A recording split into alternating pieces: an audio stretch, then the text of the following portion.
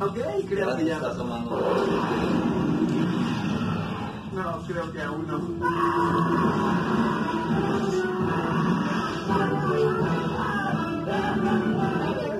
Ya, ya estoy bien.